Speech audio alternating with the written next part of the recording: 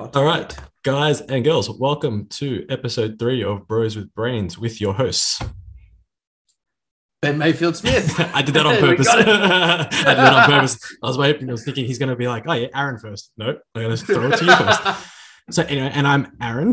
Thanks for joining us again, and thanks for all the love that's been going on for the last two episodes, and all the questions and all the comments and shares, and you know, it's been quite interesting. I, I didn't think. Well, I think we both didn't think this was going to be anything worth listening to, and apparently, everyone likes to hear us talk shit. So awesome. Thanks, I mean, guys. My only logic is that Melbourne has nothing else going on right now. Dude, we're in lock. We're in lockdown six. All right, shut up.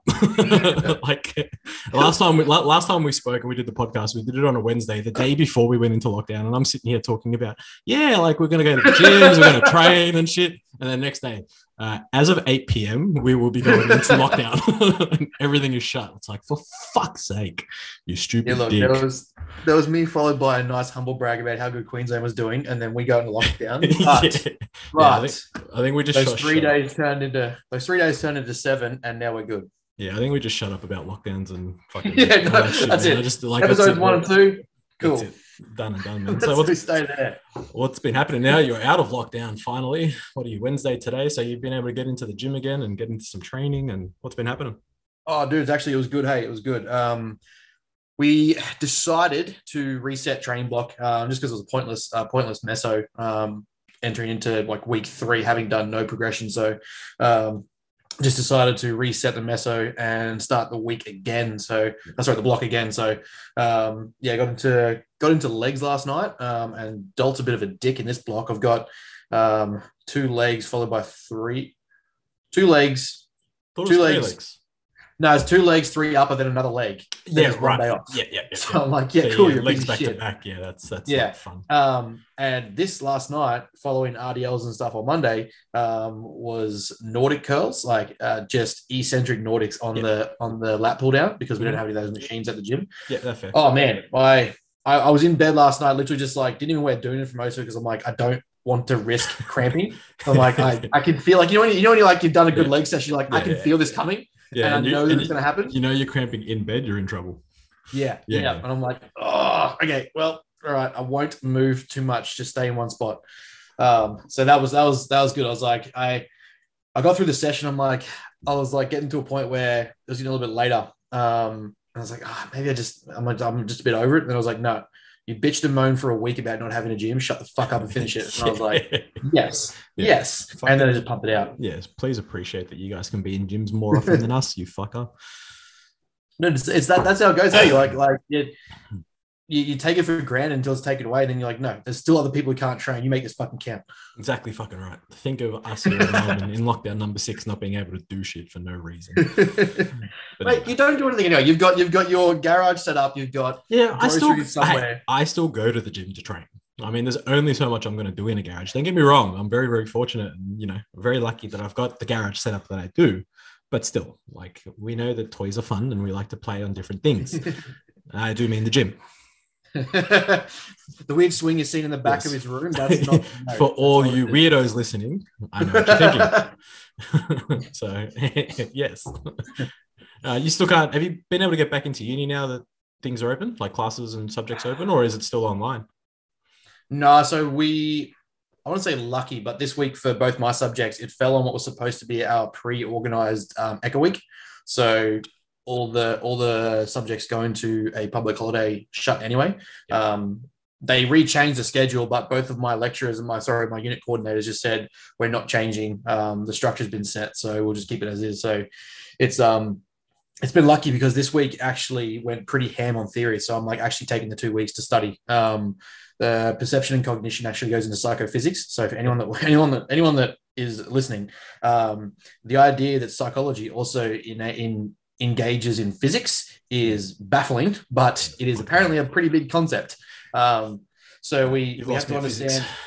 Yeah, literally, I was like, the psycho I get, Yeah. the physics I'm like, ah, Stephen Hawking, who's and the? Like, how, how anyone help? that's been following my content, I did a whole ton of like biomechanics stuff. So it's like line of force and like moment arms and stuff, which is you know mostly physics anyway. But yeah, nah, Yeah, the at only the only way the only way I could make sense of it was because it was it was around the um, perception of noticeable change in stimuli. So Yeah. it can be across any spectrum. So any perceivable or uh, cognitive stimuli that we can interpret. So uh, light, sound, taste, smell, um, uh, physical load. Um, so I just associated through lifting. That was all. That's like the only way I could make it make sense. I was like, so if the load at five kilos is noticeably different at 5.5, then the load at 500 kilos we noticeably different at 505. So Yeah. that's roughly like the the equation how it works out. And I was like, I have to make this make sense. How do I do that?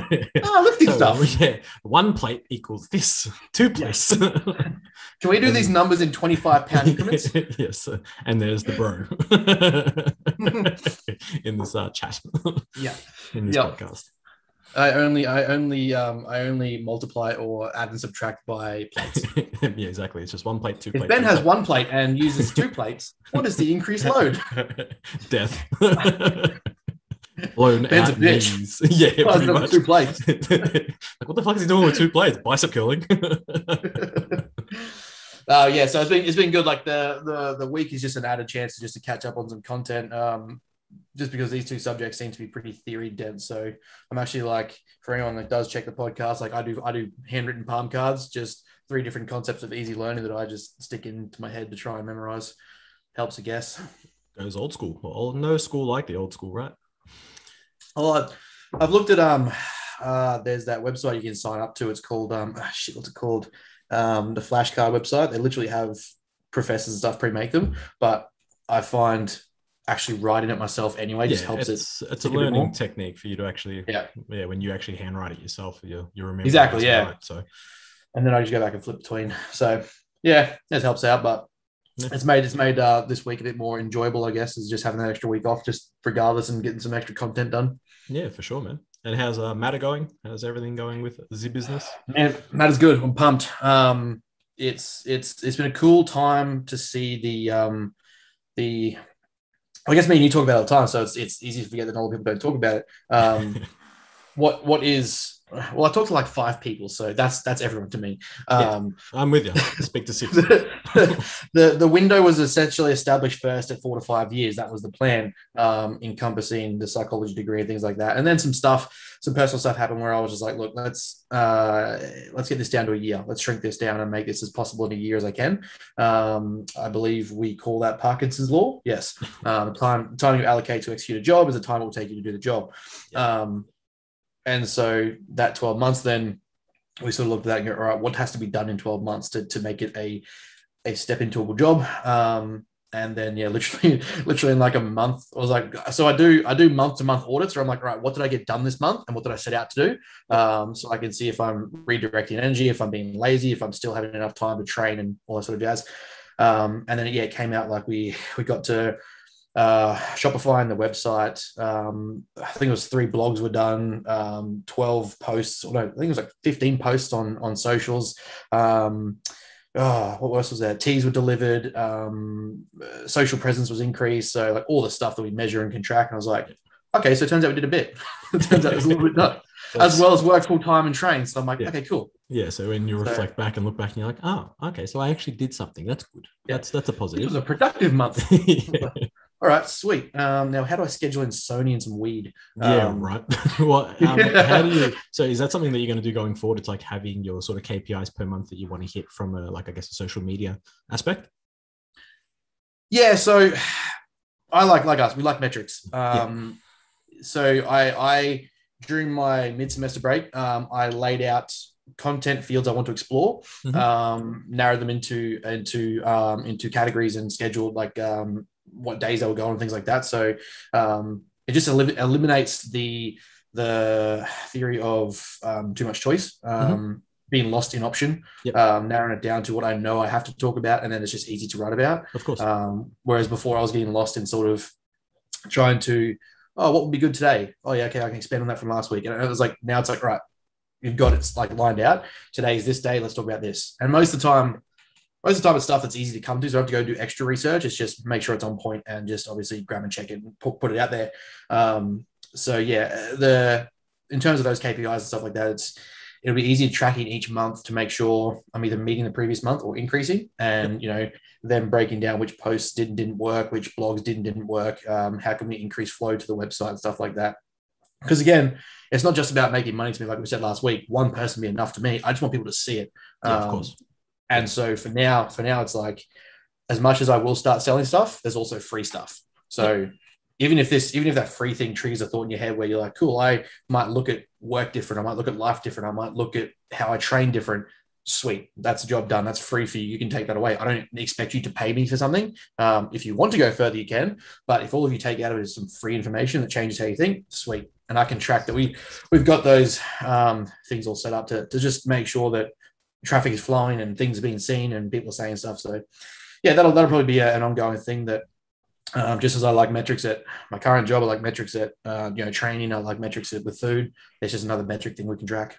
Yeah, beautiful. I mean, I guess people, ton of people are chucking it up on Instagram and you know tagging and stuff. So it's a good thing to see, and it's just going to take off, right? It's just going to be a matter of time. See what I did there? Yeah, dude, that's the- yeah, I'm funny. What's that? See, see what I did there? Matter of time.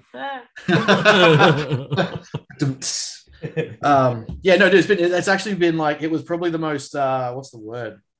The most humbling thing is it seeing uh, seeing something that I that we coined in my head and then sort of started expanding on, um, and then people actually starting to associate that say like the the same narrative I had in my head of what that meant. Like when you see the the matter mentality hashtag, that's just really embodying something that I've always sort of done anyway, and just sort of put a word to it and gave it a little bit of a context and story. And to see people align with that the same way and go, hey, this is what I'm doing, or like, you know, I wore this today and this is what I thought. I'm like, that's fucking cool, man. That is just like, like it gives me a mental erection. There's no other way to put it. And I'm just like, like I don't know how to be more gratified, like uh, show more gratitude. Like it's it's um yeah, it's it's something pretty cool because I literally had a conversation with my brother and like we don't think the same, but you know, he said to me one day, we're in, uh, at the pool, this uh, the, the pool that I go to, and he's like, oh, um, one of one of his one of his friends said that psychology was a waste of time as a degree, um, unless you do your post grad. I was like, oh, I bet you regret doing that now. I was like, a waste of time. I'm like,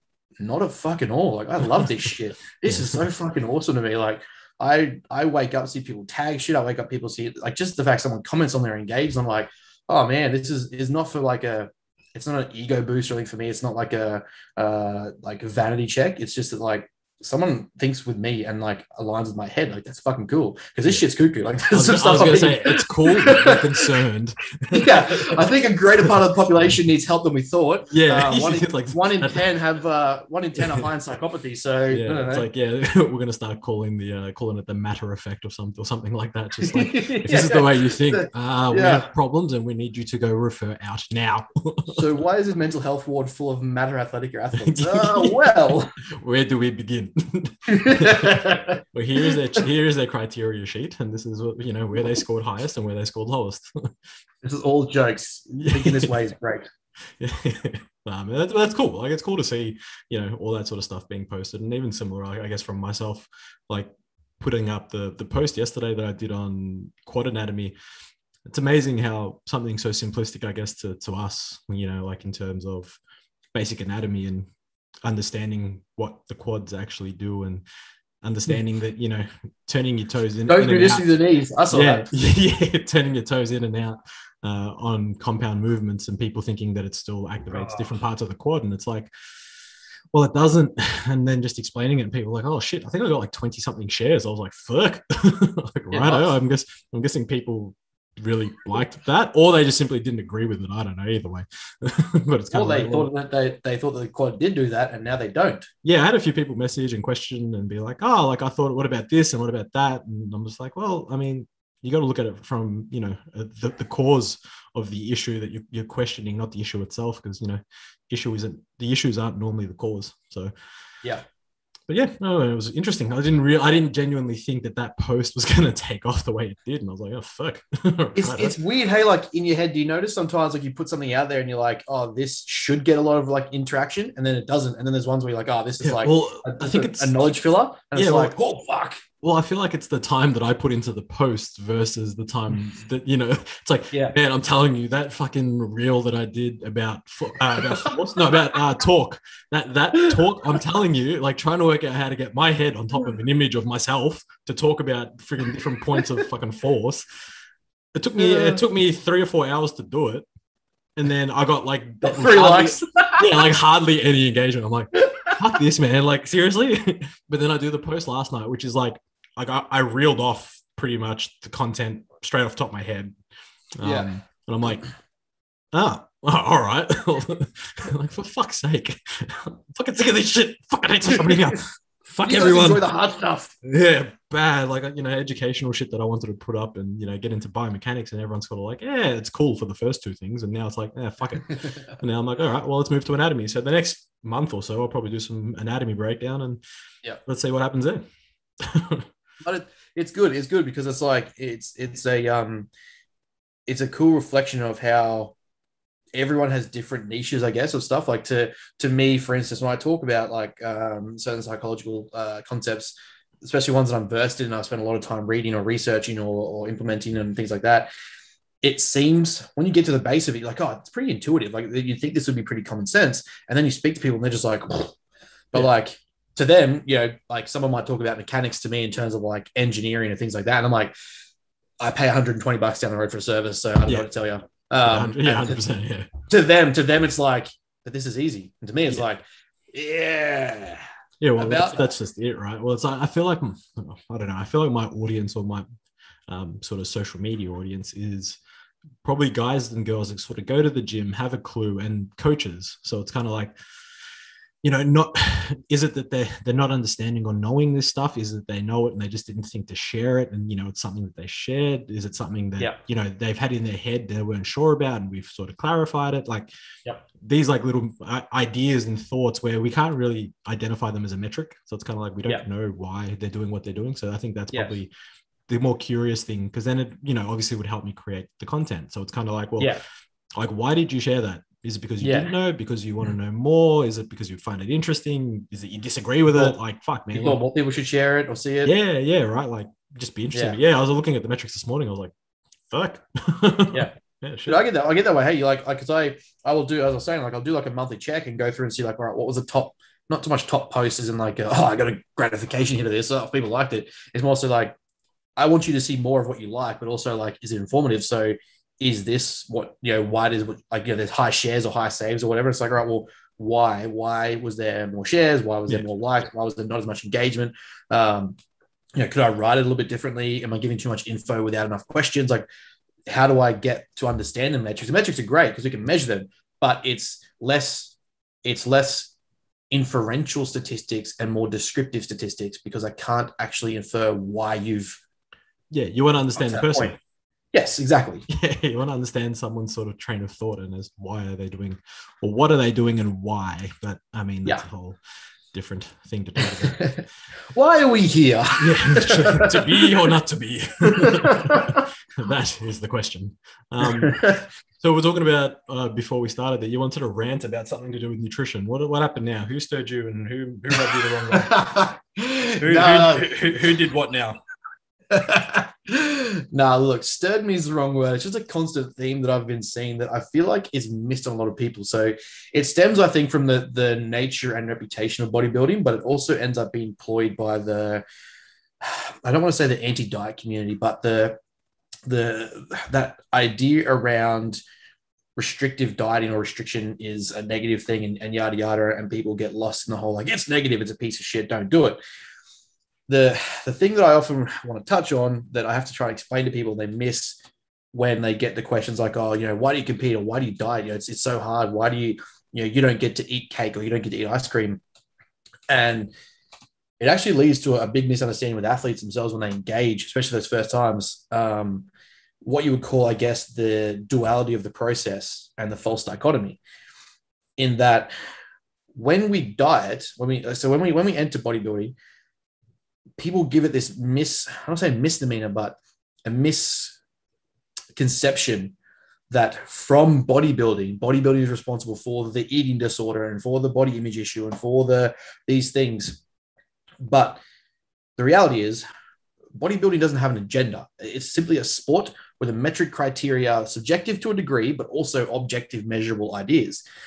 And that simply to get to those metrics and tick those criteria requires a certain behavior of you across a period of time. That is, we enter a period of training where you enlist a coach and at a certain time frame out 12 16 20 weeks whatever it is you accept and engage in the idea that to achieve the desired look you want to be considered for winning, Yeah.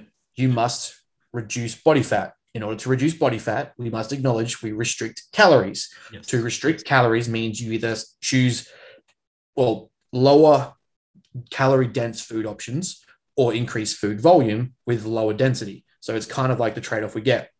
Now, the thing that gets me is when people say, oh, you can't have food, you can't have this, and you can't eat cake, and you can't do pancakes, and you can't do this shit and that shit. The thing is, that leads to a lot of issues, I think, Yeah. is the misconception, uh, like cognitively, around the idea that you can't do it and that it's bodybuilding's fault for being restrictive. False. You can do it. I think I spoke to Nelly about this the other day. We were talking about something um, on Instagram. She messaged back about something. Um, and I was saying it gets missed a lot, especially by people when like James Smith was going on his little rant and bullshit, is that we can.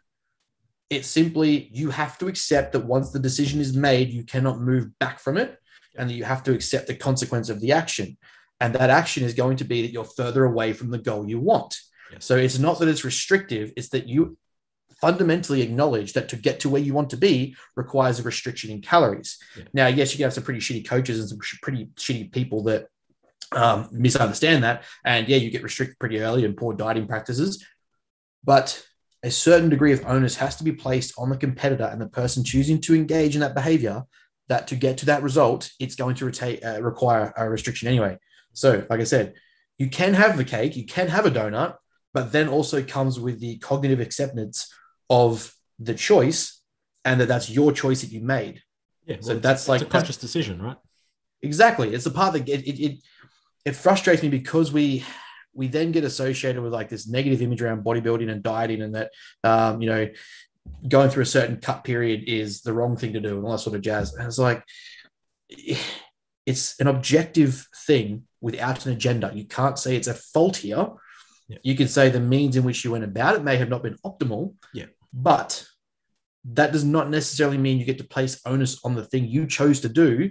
And if let's say you didn't do your due diligence on finding a good coach who may understand dieting psychology a bit more effectively, or the I guess the entire diverse concept of nutrition and how to maximize food volume and hunger.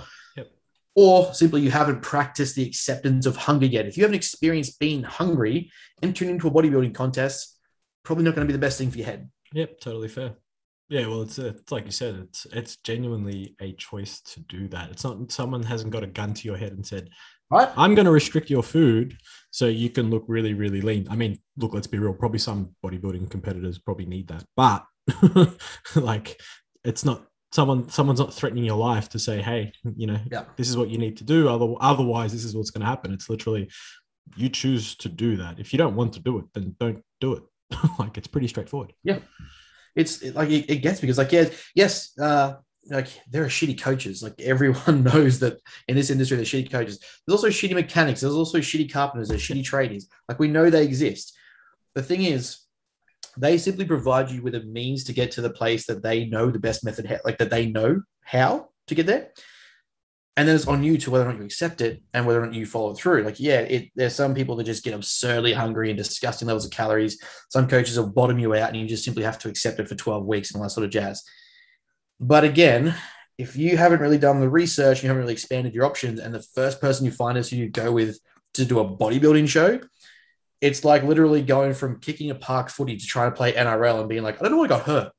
Yeah, well, I guess then the question would be how do we, not we, I mean, I guess let's say a newbie wanting to do bodybuilding, you know, they've got some training experience and all that sort of stuff, and they're sort of wanting to go to the next level. But it's like, I guess a lot of people that do go to the gym and want to do this stuff, they're not necessarily coaches, they're not, um, you know, athletes half the time. They're just, this is something that they can, you know, push towards as their goal. How do, how do you think you go about finding a coach that's a know-how? Because you look at social media, for example, and you know, you look at all these, let's say, bodybuilders who are coaching, and we know that majority of them are pretty shit, right? There's a couple of really good ones, and then there's Mhm. a majority of them are mediocre at best, if not pretty fucking Mhm. poor. But they're the, they're the ones that you're going to go to, right? Most of the time, when you don't know anything else about the industry, it's kind of like because Yeah. it's like okay, bodybuilding comp. I'm going to look for a bodybuilder because they're probably going to coach it. They've gone through it. They know how to do it. You know what I Yeah. mean? It's it's a hard line because I mean, when you think I'm I'm going to get into sprinting. Do you go straight for finding Usain Bolt to coach you? Well- when I mean, you think like I want to get into car racing. Do you go straight to try and Instagram? Uh, what's his name, Michael Schumacher? Like, it's weird. We're the only industry I find where the person doing is also somehow the person most ethically considered for the the, the role of coaching someone else through it. Yeah. Which in most sports it just doesn't happen. Like, sure, you get like you know, I guess like BJJ or like martial arts stuff like that. You get like the Yeah, the you go to the world champ if you can. yeah, exactly. Um, but for some reason, like this sport, it's um, you know, it, it requires, in all honesty, if anyone's listening to this, it requires due diligence in finding because psychologically, physiologically, having someone that aligns with you and the way you value the competition, the way that you value training nutrition, understand its fundamentals, is going to be very different for each coach. So there's some coaches who will just not do nothing but pick, uh, pick out the monotonous robots and go, you know, I've got world class athletes. It's like, yeah, bro, you, you've got the guys who can do everything you say with no questions and push through it and train through it, drug through it, and they're good. They're they're the one in a million. Like you, Yeah. you're lucky you get them, and then if you can build a reputation around that business, great. But most of the coaches and most of the athletes, there needs to be a better relationship between like you've got to find someone who understands you and you can understand them. The communication is do is, is bilateral. Um, the whole concept is a teamwork idea. That's going to support you getting through it. So if you just simply go to the biggest guy you find and go, "Well, this guy told me this, and now he said to take all these drugs, and that's what I'm going to do," it's like, man, if you went to the first trader that gave you a quote, and all of a sudden his prices are sky high, and like, you know, he's going to do one job that's going to cost you a million bucks, are you going to sign on to him? Like, are you going to ask around? Yeah, for sure. Yeah, like I said, it's interesting. There's just you know so many people wanting to get into, I guess phys- we'll call it physique com- competition. So you know, not just open bodybuilding, but any of the the classes. And it's just you know Yeah. the first thing that they would go to is you know Instagram or Facebook, for example, or maybe even Google, and they'll you know type in like bodybuilding coach, and you probably find Bodybuilding coach. yeah, right. And it's like bodybuilders are the first thing that come up. So it's kind of like, well, how do we shift through the shit? you Yeah. know, and and pick the coaches that are going to be knowledgeable and be able to sort of guide you through that to keep you as healthy as possible, you know, in every Yeah. aspect. Are they educated in nutrition or epidemiology, or are they simply just, I've done it, so I know? Yeah. There's a good way to shift through it to start off with.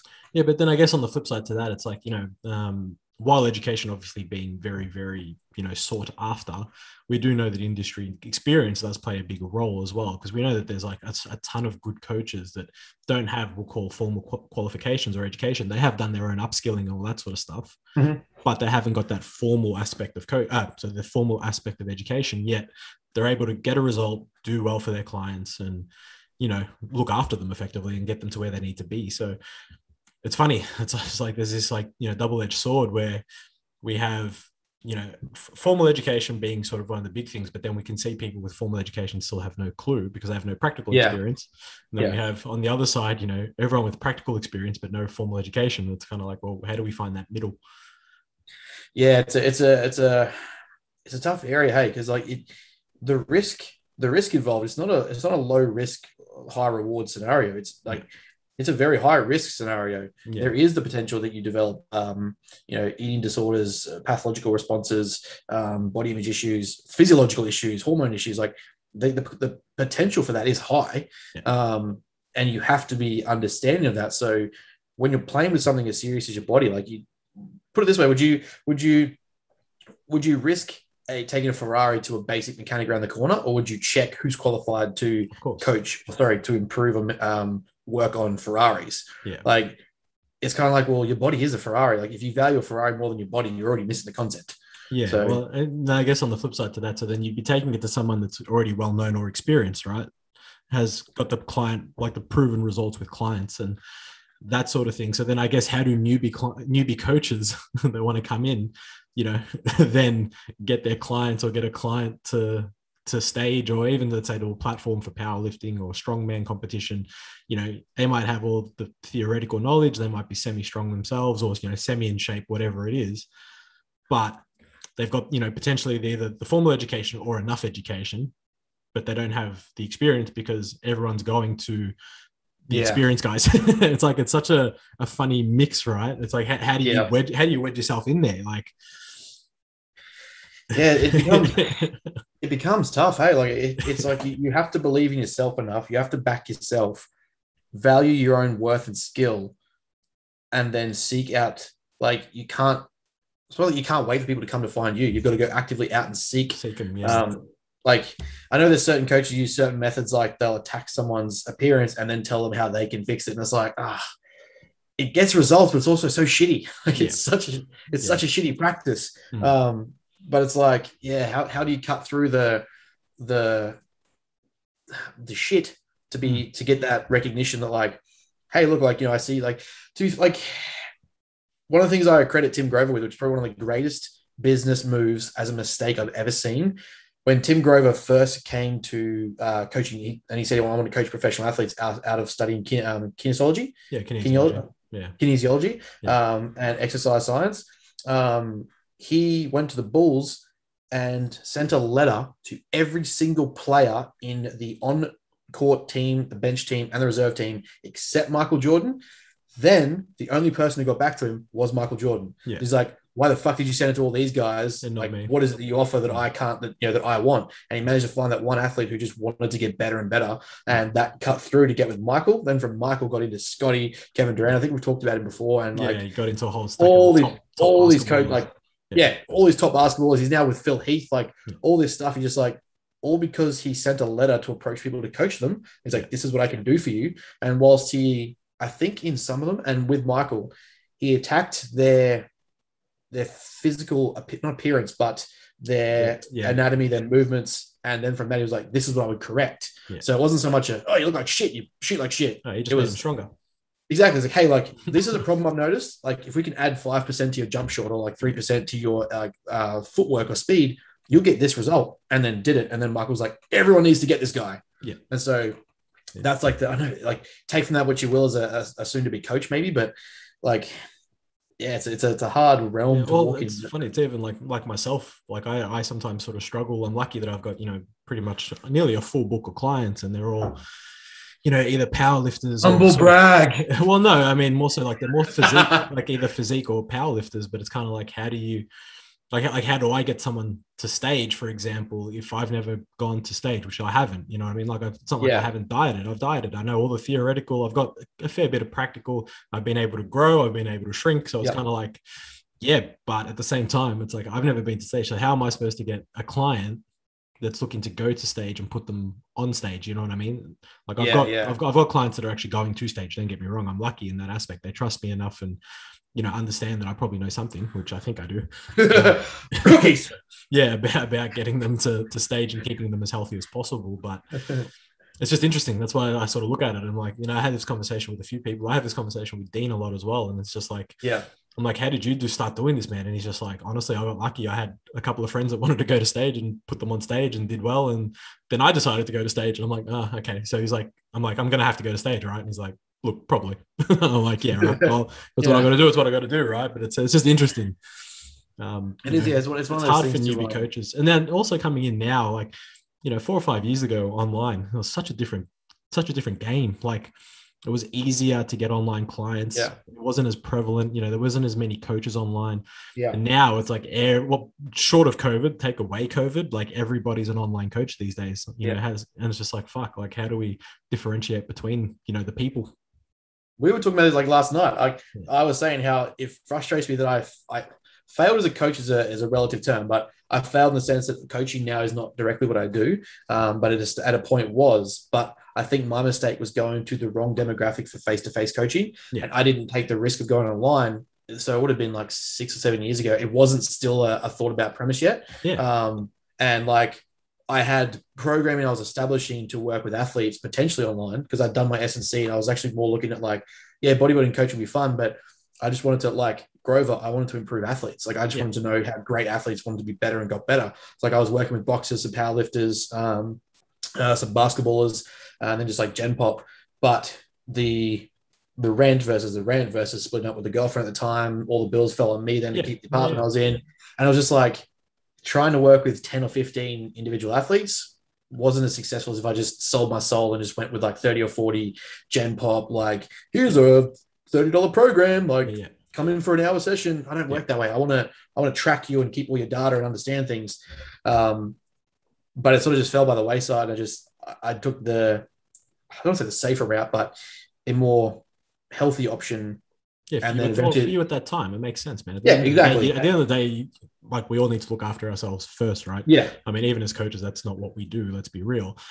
But you know, it's kind of like that. That's the premise, and it's like, dude, if you that you know, you have to do what you have to do. Like, you, yeah, well, yeah. no one can. The that. thing, the thing is though, like knowledge from then has gotten so much better. It's just that that like I just now with matter and going down that route, it's going to be my like what I focus on. Um, but like seeing the shit that I see, is it kills me because I'm like, that's so dumb and it's so bad. But also like I'm not coaching myself to like take on people to help correct that. It's just like Yeah. I just rather put out information that people can utilize. I'm like, my brain's free, just use it. Like I get nothing from this except you get some information. So like when I see dumb shit that just get out there, I'm just like, ah, how are you succeeding? How are you making? How are you making money? Man, yeah, right. And so that's that's the thing. It's like we just sort of sit back and look at it. and We're like, really? Like, but now and then like well that was the thing right because it's like you know the the evolution of instagram and online coaching was people putting up their own lifting and then getting clients and then people putting up their clients uh, whether it be lifting or a result and then you know getting clients and then we have all these influencers started to come through where like you know these people that were in some sort of shape started posting themselves you know abs out boobs out bum out yeah, you know, like ripped back out, fucking quads galore, like everything, guys and Yeah. girls. Like it, it's not it's not either or, it's both. Yep. You know, doing like selling effectively or sex, right? Because that's what Yep. we know as like sex. As I say, sex sells and it Yes. works. It's it's an unfortunate thing, but you know, I guess it's what people want to see. And I mean, at the same time, we know here's that my people- green tea and here's my ass. yeah, well, right, but tea. it's like, yeah, like remember like the was it the green X was it X fifty T or whatever it was that came out, and everyone was losing their shit and then fucking all, all those brands that came out, man. But then it's like on the flip side, then people would turn around and say, well, no, if we're going to work with a coach, we do want to see that they're in shape or that they're strong Yeah. or that they're able to do what it is that they're coaching. You know what I mean? Yeah. So like initially it was like, I look like this. If you want to look like this too, do my program yeah, to I look like this and I'm just showing you, hey, this is what I look like because I do literally what I preach, but yeah. I will create a program for you to get a similar or a better result for yourself. Like it's a weird world, man. Yeah, the, the weird funnel from that though is like, like let's look at Dolt for instance, variety of clientele uh, in terms of like he's got actors, he's got boxers, he's got Mm. cyclists, he's got bodybuilders, he's got powerlifters, all of which like are outside the realm of things he does, Yeah. but he knows them. So it's like it's super weird because like you don't want to if you just use your image to sell your physique, then you get narrowed into a funnel of like, well, that's all you get. Because well, I'm a I'm the physique guy, so I'm only going to get physique competitors, or I'm just a powerlifter. I'm well, is that all you do? Is that all you Yeah. want to do? Like, do you have other other realms to offer and things like that? So it it um it is a it's a weird weird concept. Uh, it's not a concept, but it's a weird time. Yeah. Well, I mean, I can understand, I think, you know, niching your market in, in a sense. So it's like, know, a lot of like physique coaches would only want obviously physique competitors, right? Or Yeah. physique based clients. So like in that aspect, it makes sense. But having that diversity in clientele makes it very hard to advertise too. Yeah, Like- yeah, you know what I mean? Unless you're advertising the clients themselves and using their, Yeah. you know, their profiles and stuff and saying, hey, look, this is what my client does. This is the variety of clients that I have. You know, like how, how is it that you advertise for a variety of clients if you're going to try and promote it yourself? Like, you know, promote yourself to get clients. It's just a, it's a weird, weird, weird thing. Social media, fucking hate it. yeah. It's it's um it's it's great if you use it for the right reasons as, as a tool to deliver, I guess, ideas, uh, meta ideas, concepts, theories, novel concepts, client data, information, things like that. Like if you share for the right reasons, but yeah, it's a it's a fucking weird world to navigate if you're just on there to get likes and and fucking whatever else you do. yeah, like people complaining about like wanting to get followers and stuff like that. And that's the conversation I have with a lot of coaches actually. It's funny. So if you're like an online coach, listen to this. And this is what sort of I've employed and a lot of people have employed that I speak to, and it seems to work quite nicely. Do not worry about likes and followers.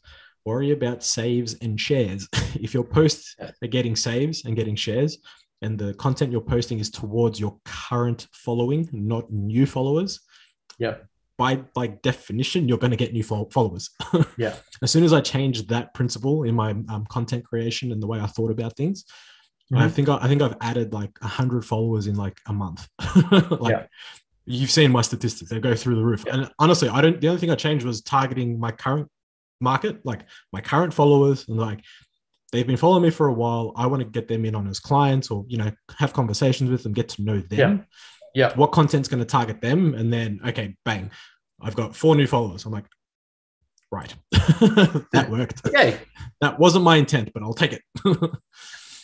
come at me, bro. Yeah, literally. So it's just like, you know, focus on your current following and how you can help them and uh, just let it fall and you're going to get more you're going to get more followers and then hopefully more clients. Yeah, I mean, I, I treat it. I treat it as like we said the other week. It was like uh, in terms of like podcasts or programs. Like if I help one person, well, it's the same way I sort of look at look at um, socials in terms of just getting presence out there, people knowing what I think about. Is that if I can get one person to engage and communicate with them like they're a soon-to-be client or just someone who I want to discourse, like have discourse with, Yeah. then that's going to make them feel. I'm not trying to make them feel something. It's not trying to like manipulate them. It's just creating something more of a, a community of conversation than just like here's my shit like it. Like Yeah, for sure. i don't just want you i don't want you to just like it. I like if you have a different idea if you have a different opinion a different position like come at me with it in a way that we can civilly discuss civil have a civil discussion. Yeah. um and it's like it, it creates what the whole premise of it was for to create dialogue between people in different locations and open up conversation. Like that's literally why things like social media facebook and instagram were created because people existed in far different campuses and different universities and, and different yeah, groups or just the way to connect them. Yeah, and just connect them. And so Yeah, it's like why the when you're- called The Social Network. exactly. It's like when your when your presence is purely just for you to get likes and you to post up photos. It's, it drives me mad because these people are like, you see these people that obsessively comment on their stuff. I'm like, dude, they don't care. Like they're not they're not replying to you to like to actually build a community of people they want to speak to. It's just Yeah. because you're giving them their vanity hit and you're giving them like reactions. yeah, you give I would rather have- ego boost. Yeah, it's like I'd rather have half of that following and actually have people to talk to and like engage with them. Like, oh, you saw me post this like theory on a psychological concept. Well, what's your opinion? Is it the same? Is it different? Do you have a different link for me? Do you have research for me to go like shift my position? Or perhaps like you want to expand further and I can show you some links. Yeah, well, it's, it's literally like we were speaking about on the last podcast. It's just, you know, it's okay not to know and it's okay to, you know, learn something new. There's nothing wrong with that. So if someone that disagrees and, you know, they're going to be polite about it, you know, usually if they come from a, a, a higher position or, you know, uh, like in the hierarchy type scenario, like if they know something that you don't, then you get to learn. What's wrong with that? Like that's sort of Yeah, the, the point, right? We want to learn so we can pass on knowledge. correct. It's kind of the dream. Yeah. What? Well, that's a that's a fucking that's a, a very heavy way to start. We've, we've gone ham on uh, some some serious convo. What else is going on? No, man, same shit, different day. Lockdown. My hamstrings are sore, so I didn't train last week because I had that cold. Um, so hopefully everyone can actually hear me a bit more clearly now. Uh, I probably talk a bit soft, so it's just me naturally talking. Apologies, I'm trying to sound like you know the really uh, deep voice dude from Boyz II Men. So It's, it's just phone porn voice. Yeah, literally, it's just that's why we do podcasts, and you know the YouTube channel is just there for shits and giggles because we are voices made for radio. Um, What are you wearing? Yeah, Slacks? Like, yeah. what should I be oh, I'm- wearing? It's like I'm wearing my hoodie and I'm wearing nothing below, but you can't see. So uh, you know, upstairs party, well, upstairs business, downstairs party. But um, yeah, so lockdown. Didn't train last week. Trained this week in my garage. My hamstrings are cooked. They're sore as fuck. It was cramping. I had um, I had a few consult calls yesterday, and then I had a podcast in my hand between my my headphones going off. Like they just decided to turn off mid podcast, and my hamstrings cramping at the same time. Mate, it was great. Just this was Just a fucking shit show. just horrible. Nailing this week. Absolutely slaying Yeah, it. I mean, you know, besides that, things are going well. Besides being in lockdown again, um, yeah, I can't complain. Did some upper body yesterday. Boobs are a bit sore. Usual, a little bit, a little bit of DOMs.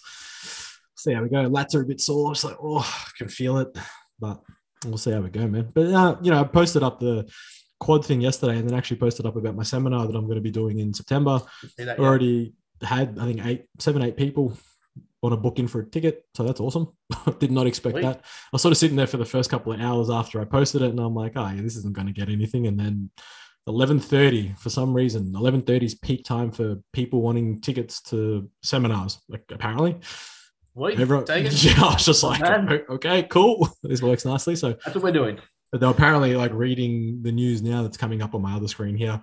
Uh, we've been extended another week for lockdown, so that's great. So let's see if we can even get to fucking September and be open. So this should be interesting. So Yeah, we've got um, another seven, another seven days of lockdown apparently. So this is gonna be fun. I mean, Netflix and OnlyFans are going to be making absolute killing. Bruh, I'm tempted to make an OnlyFans. and It's just going to be me lying in bed with my socks. Yeah, Fucking gonna make a dollar. But not of your face, just of No, your socks. it's literally like knees down. Yeah. These are for sale. yeah, literally, who wants to buy these? Um, but yeah, man, like literally, like it's getting to that point where like seven days again. So we'll see what happens because I think I've put the I put the seminar on for the twelfth, Sunday the twelfth. So if we do another seven days from tomorrow, the twelfth to the nineteenth, uh, it's gonna be touch and go two or three weeks after that. So let's see. Yeah, there's. I got a feeling there's going to be a lot of things getting cancelled in the coming um coming months. Yeah, you're not you're not wrong. Really? No, actually, I, you know what I need to know. I wonder if people are listening. Please slide into my DMs and tell me if you do a if you do a seminar in person. Would you rather? Because I'm going to do slides, right? Obviously, put them on TV screen and have them up. Star wipes and shit. Yeah, pretty much make it all pretty and shit. Would you would you rather have like you know when we go to uni, you know when we print out the slides and you put like a slide, three slides per page, and it's got the notes. Would you Yeah, rather would you rather a printout with like that format so you can take notes on the slides, or would you just rather the actual slides sent to you post seminar? Hmm. Well, I could do it probably pre. No, I don't do a pre-seminar because I want to surprise them. So, like, I wonder, like, would it be worth sending the po- like sending the slides post-seminar? Like, I don't want to do both. Like, I feel like that's overkill. I feel like one Mhm. or the other. Like me, I'm old school. I like paper. So as much as Yeah. the, the environment doesn't like me having paper, I like having paper. So, um, you know, I like, I care like- about your tree. I yeah, paper. well, I, I, I- like I said, I'm old school, like yourself. Like you're writing on palm cards. Like that's how I studied. Yeah. And like I write notes. You know, I've got fucking Yeah. tons of notebooks. So it's kind of like, is that what people still like to do? Like, or is it kind of cool and hip to just bring your own notebook, write notes, and then get the slides afterwards? I talked to a few teachers and stuff, right? And it turns out like every kid nowadays has a laptop and an iPad to take to school because everything has to be interactive. Like you can't teach anymore like just on the chalkboard or the blackboard. I'm like, what is happening? Yeah, When right. did that become a thing? Yeah, right. Like that's so that's what I'm curious to know. Like, is if you do have an opinion, please DM me and let me know, just so I can work it out. But yeah, And also send pictures, send pictures of feet with socks. Yeah, uh, socks, not feet, socks. Just socks. Socks. I'll, I'll load them on Warm. my own. I'll, I'll load them on my OnlyFans as my own. Worn post gym socks. He's all for it. yeah, why not? Yeah, man. That's, that's really about it. There's nothing much going on, dude. Like to be real. It's a hard time because hopefully, like, like with this, like I said the other week, like the the the hope that this is at least giving people something to listen to for a few hours. Like, hopefully, it's something just interesting, or like you can take something novel away from it that you didn't think about, and you can be like, well, as shitty as everything's going on here, you can at least listen to this for a fucking I don't know ninety minutes and talk a bit of shit. But Yeah, right. it's, it's- it's hard to it's like to excite people when like, oh man, everyone's just so. So that's why that's why I pivoted that post the other night when I was um I was uh, talking about um uh, stress stress reduction. I was like I I just feel like emotional uh, emotional appraisal research isn't as, as relevant as like putting something about stress reduction out right now because Yeah, yeah. everyone's just stressed on edge and like COVID aside, is everything else around it like people just business and choppy and just getting frustrated with each other. And I was like, it's a frustrating time because you want to be able to help people and like put something out that's positive, but then people will come at you for like, oh, you're positive or everything's going to shit. I'm like, yeah, well, I don't know. Like, Yeah, why add more negativity? yeah, like yeah, exactly right. What's the point of being negative? like it doesn't get Yeah, like, anywhere. Like, puts out some put out some research info that might help you like reduce stress and just de-stimulate a little bit. And like, I know with you guys, you've only got five kilometers you can go to. So if there's something that can help in there, like if you have something around like a park, just go be there for five minutes. Yeah, get Um, outside. It's actually not too bad yeah. weather-wise the last couple of days, which has been nice. It's a, a pleasant change. We had like an 18 degree, uh, 18 degree, 18 degree sunny day yesterday with a bit of wind, but it's like, oh, hello, sun's back. Hello. It's a 20 degree day in Melbourne. What is this? Uh, Bad for this time of year, man. Like it's, this is a big deal. Global warming's not a thing. Um, I, I'm kidding. It is a thing. Okay, please don't. The hole the hole is open over Melbourne right now. The ozone is just pure sun. Fucking yeah, literally. Like that's what it's gonna be, man. But anyway, Should we get to some questions? Yeah, I've got some. I've got some good ones. Yeah, you're telling me. Um, I'm fucking. I'm scared, bro. I'm, I'm uh, God damn it, I just had it open up now. It's gone away. Um, archive. Ah, thank God this shit's simple nowadays. Come on. All right, there we go. Does, does, does. Boom. Alrighty. Talk to me. I got a few good ones. Okay, this will be interesting. Um, I'll bring up the ones from last week we didn't answer. Maybe I did get a couple of good ones for this week, but Have you got have you got some funnies or you got good like serious ones? uh, it depends which one you want. What do you want? I got both. Let's start with the funny. We had a pretty serious chat, so let's, let's start with the funny. yeah, let's lighten the mood. Sorry, Yeah. people. What what you got? Or you want me to go first? Ah, you go first. All right, that's fine one. I just got to bring it up. You know, just these things happen. All right. Well, while you're wasting everyone's time, um, So, so considering I put up, so I put up a poll on the weekend about what sort of podcast people like to listen to. More so for my own, you know, the Elite Strength podcast. It's like, Yep. do you want solo? Do you want guests only, or do you want a mixture of both? And I got a ton. like two on one. Do you like Yeah. one on one? Yeah, pretty much gangbang. Like, sorry, you know, you know what I mean. Like, um, so I've got. I had so many people comment and talk about. Two F one M. yeah, like what? Calm down. Ben's lost the plot. Um, so we're talking about. It's just like I'm like, well, okay, what topics do you want me to talk about? Being a solo one, and naturally, you know, Izzy, also known as Mum, um, decided to throw up something. So she's like a cooking segment. It's like, you think I cook? Like Oh, woman, it's air, air fryers and rice cookers. Like I don't I- and microwaves. Like I don't think you understand. like Oh. how, how good do you think I am in the kitchen? Look, bodybuilders and, and trainers learn to cook three different things five different ways. yeah, and then she's like throwing in hair and makeup. It's like Beard routine. Yeah, I did. I've got that a few times to be quite honest, which was uh, quite interesting. Um, I think I told someone you don't actually watch it. It's just it's just simply sweat and salt, and that's just like keeps it straight and luscious. man, that's that's from the one set that I do for Instagram. Like literally, like that, I don't do anything else. So it's anyway. I was just sitting there like, man, what is going on right now? On, let me find these questions. All right. Well, I got one here. Go. Okay, so tell us about your back injury. Uh, what made you decide not to get surgery? Okay, so I'll try and what's that? Go on then. All right, so we'll keep this one quick. Uh, I've talked about it a couple of times before, but not on here, I don't think. Um, so 20, 2012, 2013, 2013, I think it was 21, 2013. I was in a motor vehicle accident, um, like ran a red light. Uh, I was on the way to work.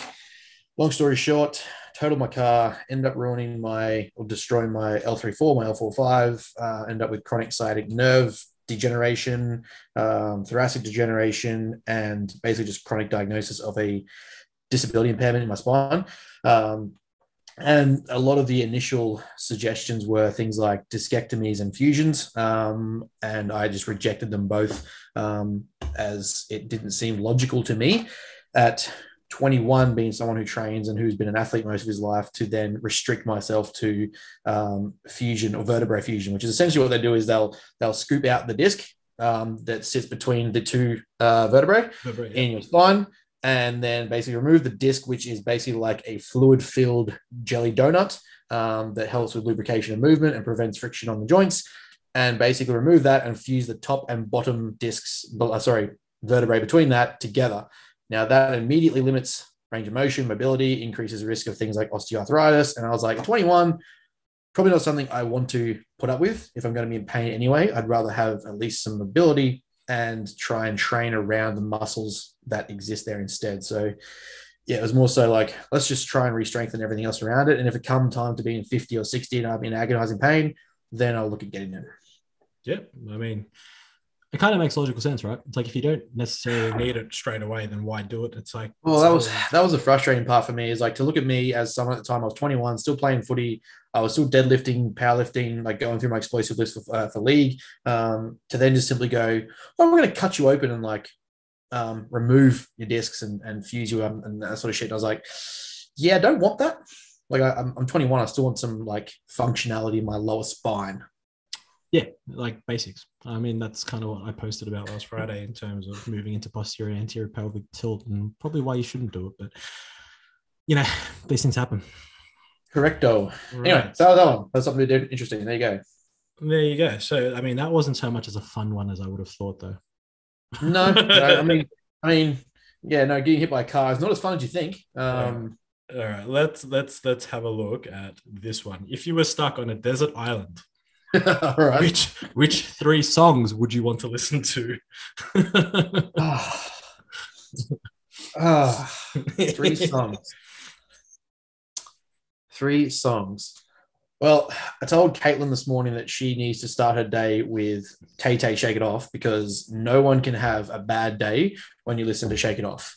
Don't care who you are. Can't be done. Oh man, I'm gonna really question you on that one. Like we have to have a chat off camera, bro. Can't be can't be done. If you can listen to Taylor Swift Shake It Off. on a hate Taylor day, Swift, bro. Yeah, like, so do I. Everything that- is that- about as everything is not- as squinty eyes and ex-boyfriends, but that one that, that is not a song that's gonna get me going in the morning, mate. I'm telling you. Mostly because I watch it. I watch The Rock do his lip sync battles to it, and it's pretty fun. Like, I That's feel like pretty that- good. I feel like you know when you wake up in the morning, you know when you've had a really bad sleep, and like you wake up the next morning and something small, so insignificant that happens in your life, but it irritates you and it ruins you for the rest of the day. It could be that like you run out of toothpaste. It could be that your towel's damp from the night before. It could be something so fucking that Do you need to song. That, that, that, that song would set me off. like we I- need to have I- an off-camera session. Man, I, I would lose my shit. I would throw my phone through a wall.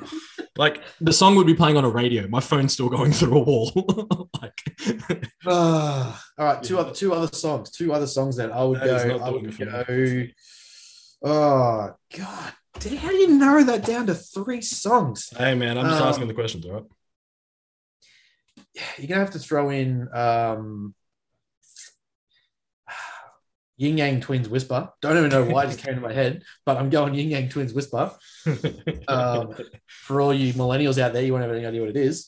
yeah, get on Spotify, um, type in Yin Yang Twins, and listen to any song from the Yin Yang Twins. Yeah, well, yeah, that too. That too. Um, oh god, you got to have some Usher in there as well. I mean, you've got a white chick, you've got some twins in there. You got to have like a, you got to have some Usher in there somewhere. Oh. Actually, I'm gonna go Dre. I'm gonna go anything but Dre at that point. Like you're gonna get some NWA or some Dre, like some good, just some good ghetto rap mix between basic white girl and good ghetto rap. So, You've covered all genres. We've got white girl. yeah, We've got some Yeah. R and B, just you know, some some just chilling out. You know, we'll just relax, and then old school gangster. Proper Why- ghetto rap. Why, why not? why not? Yeah, I mean, fucking, why not? I think if I was to pick, oh, fuck, if I was to pick three songs, I mean, for me, forget about Dre is always there. That's like my PB song. That's my my like that. That's a non-negotiable. When I start my crip walk in the gym and no one else can hear the music except me, and I just send you the video, I Yeah. imagine I was like, "What the fuck is this guy doing?" I'm Yeah, just so brushing for- off my shoes, baby. So for those listening, like last night, he's in the gym wearing his Jordans, and he sends me a video of him just like crip walking. I don't know if you if you don't know what a crip walk is, like go headbutt the wall, ten sets, ten reps, one minute first, and make sure that wall's Correct concrete. yourself. yeah, make sure that wall's concrete. Um, for those that do, like you could imagine, just like you know, dusting the shoe and then walking off with no music going because they're in a commercial gym and he's got headphones on, would have been a very interesting, a very very interesting look for people. Um, but anyway, so let's find. Okay, let's find a more serious question. Actually, no, first, yeah. So forget about Dre. I mean, that goes.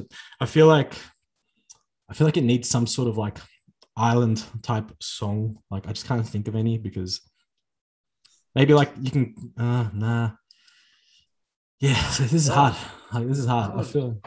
I'd probably still put NWA in there just for fun, like "fuck the police" because I love the song. Fair. Yeah, and like I don't know. I don't know if I want to put some slow romantic shit in there. It depends if I'm stuck by myself. Like that's not going to help me. like I feel like I'm going to need to be angry. Putting some like Linkin Park and really mix it up a little bit. You know, a- anything from like Hybrid Theory, like works for me. Good album. Good album. Yeah, anyone anyone born that outside of that generation not know what Linkin Park is or, or what or not know what hybrid theory is, like, Yeah, like get it on your playlist. In fact, I know there's a playlist you can listen to that actually has it on there. So I'm waiting for you to plug it. Far, I've given you like how, how many opportunities can I give you to plug that fucking playlist? Bro, I'm not gonna Anyway. lie though. 16 people, like seeing 16 people, like not just not just listen to it, but it shows people who like it. I was like, oh man, that is like, oh, that is the coolest shit. I was listening to it um yesterday, actually. Believe it or not. it- during during my during my training and dying. It was great. The funny part is like it's not it's not just one I made up. It was like it's just a mixture of playlists from like my footy career, different training playlists I've had, and then songs that are just stuck in my head that like that gets me in the zone. And I just mixed Yeah, them yeah. together. I was like, cool. This is just like that's it. Well, yeah, right. It's like kind of like you're just listening to different music that comes on randomly on your iPod, oh, your iPod, Yeah. your phone, and you're just like, well, oh yeah, that works. I'm just gonna put that in a playlist now and see what happens. Yeah, exactly.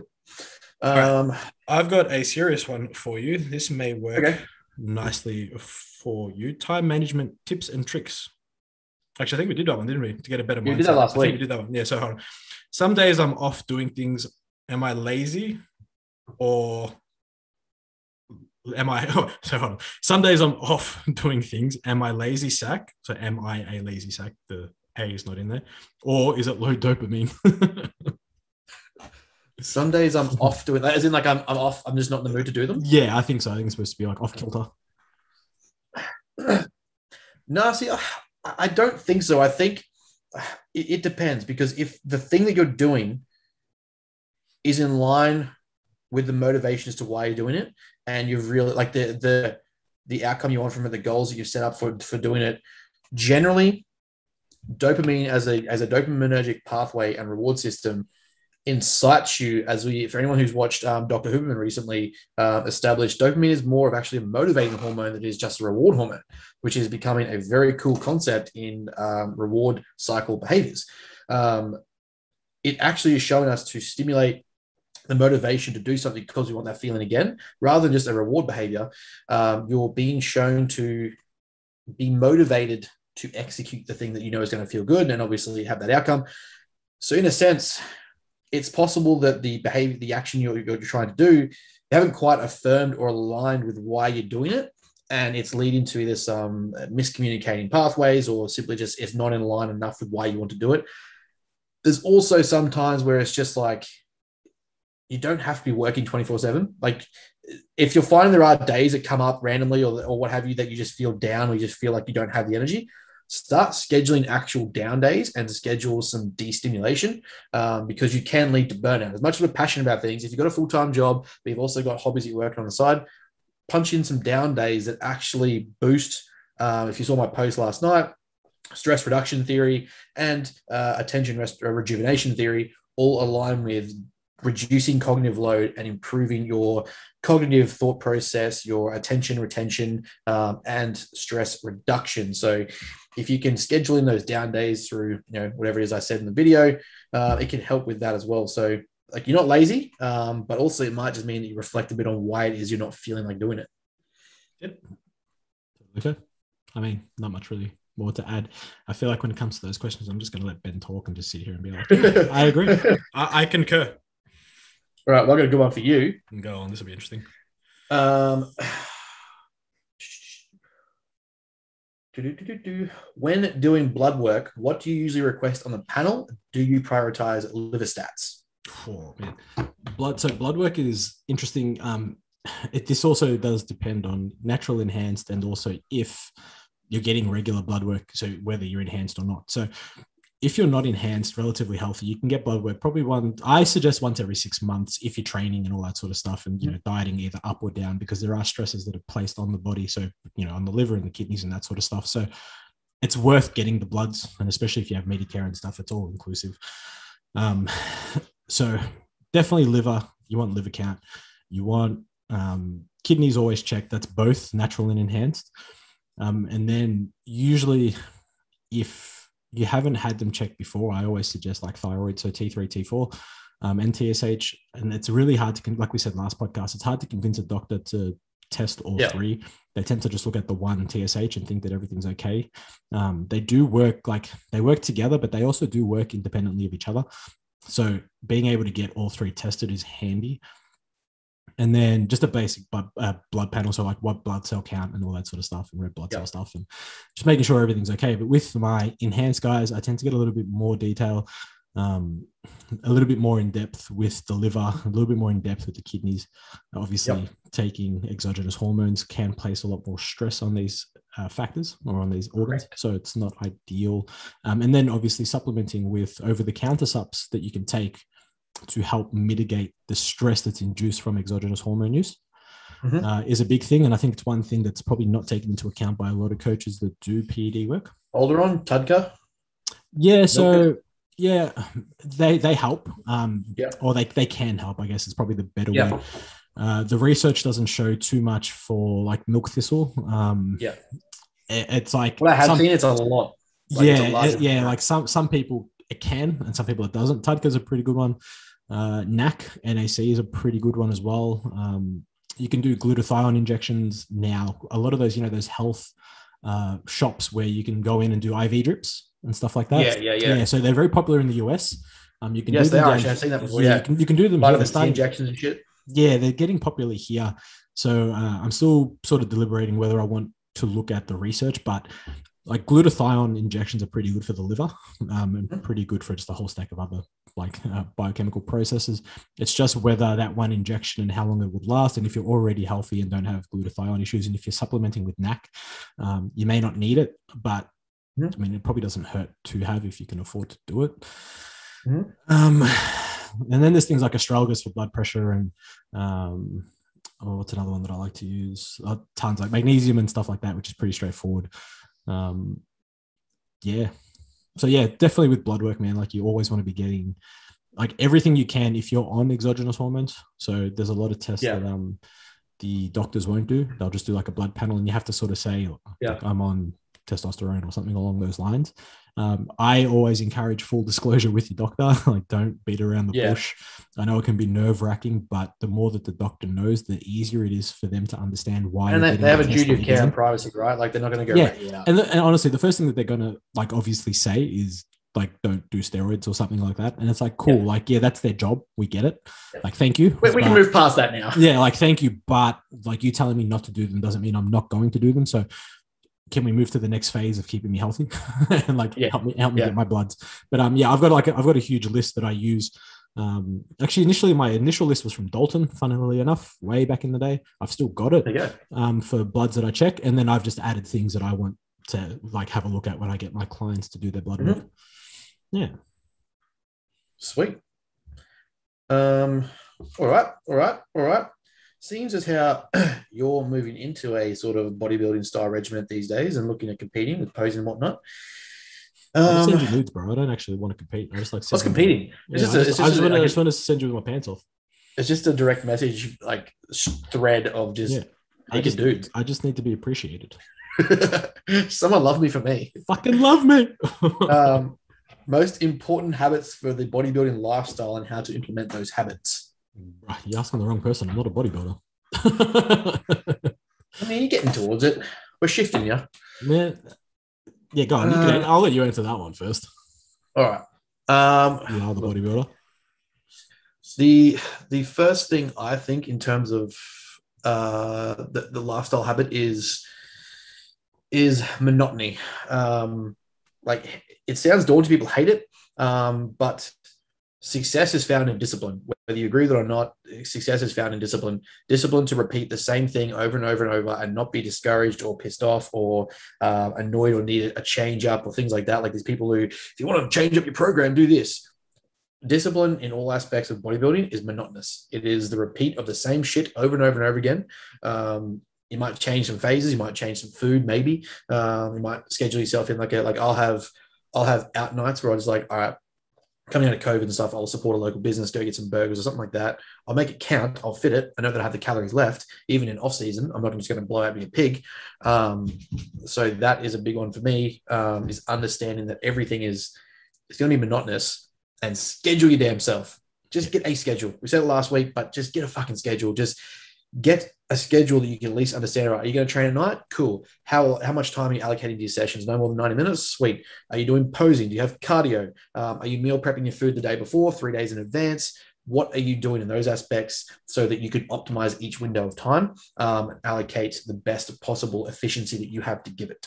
Yeah, for sure. Uh, I mean, I think the biggest one out of that that I've started to really appreciate the most is routine. So even though I've Mhm. always been, I've always been a routine based person. Um, yeah, it's just having those a lot of times, and obviously also running an online business, so it makes things a lot easier and less stressful, and then not deviating from the routine unless something happens like an emergency or something like that. I think you have to be a bit stubborn with yourself in your own sort of routine. It's kind of like you might be tempted to do things or you know, for example, like here in Melbourne, well, for here in Melbourne, the weather being as it is, it's kind of like I need to get my walking in and get steps in, for example.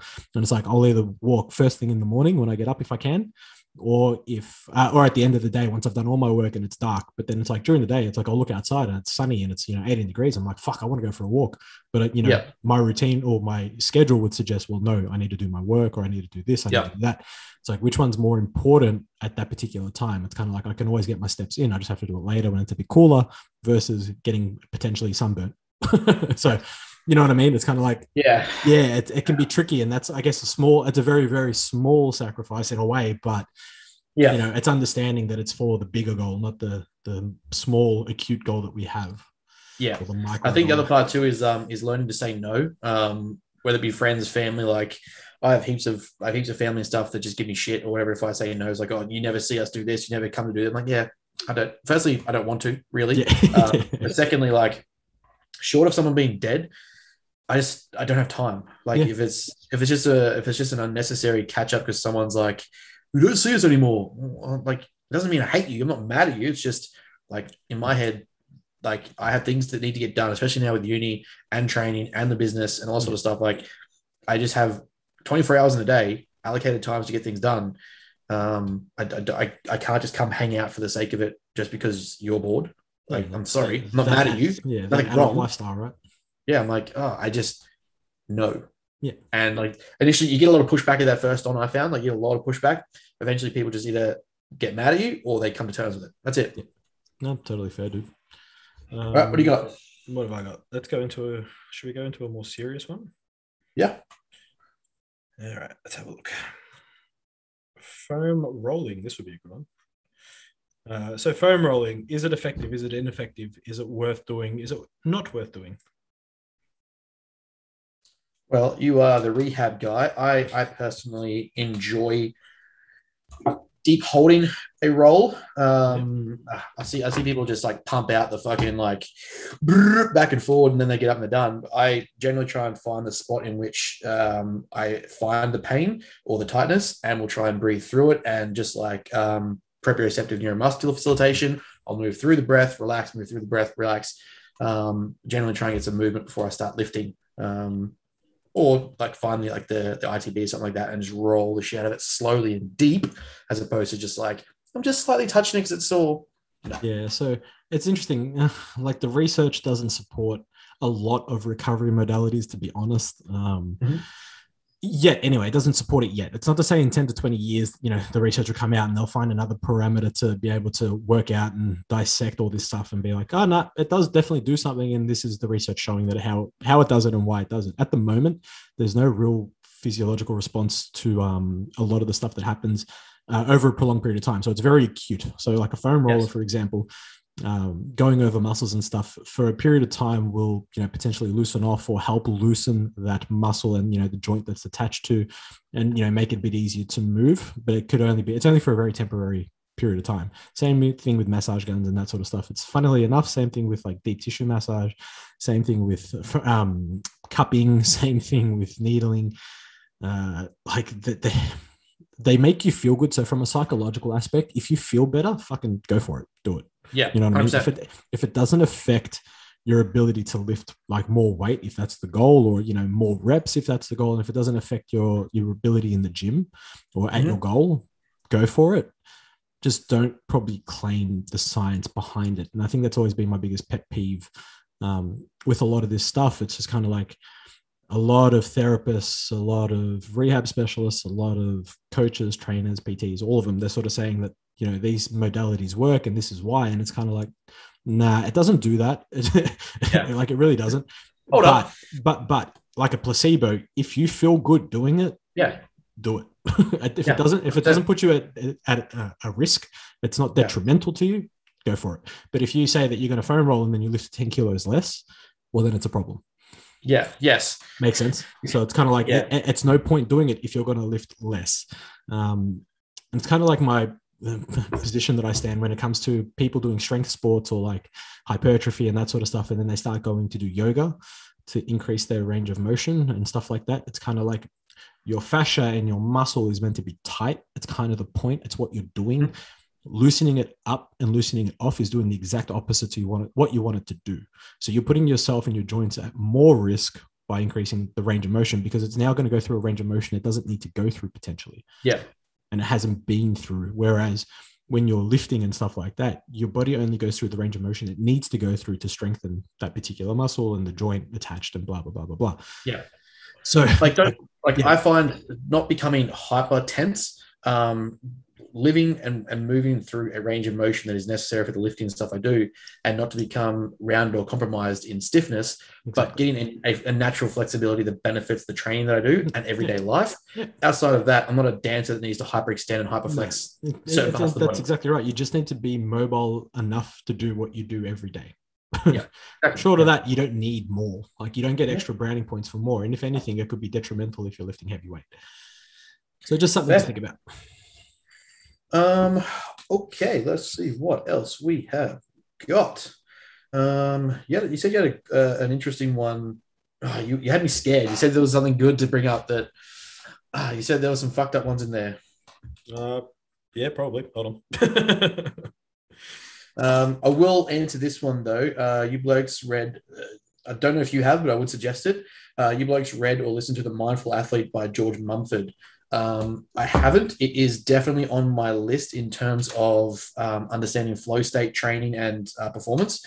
Um, so, George Mumford is a doctor of sports psychology from the University of Massachusetts. Um, he actually worked with uh, Phil Jackson um, in the Bulls run during the 90s. Yep. Um, did a lot with him in understanding mindfulness and mindful practice around athletes to optimize emotional intelligence, um, cognitive reappraisal, um, being in the moment.